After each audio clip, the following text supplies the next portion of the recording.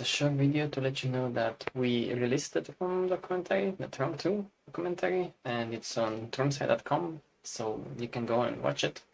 I won't post it on YouTube because this is not a video platform, it's an ad platform, and we might even get our channel deleted if I post again. There are some copyright strikes, whatever, even though I don't make any money out of this. But anyway, go tromsite.com and you can watch the documentary now.